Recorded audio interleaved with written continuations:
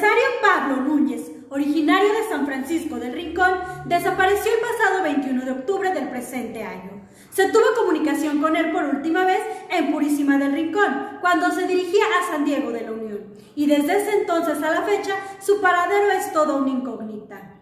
Mientras tanto, familiares, bajo la demanda de queremos a Pablo, protestan entre pancartas y gritos. Exigen a las autoridades dar con el propietario de la empresa Suelas Pablito.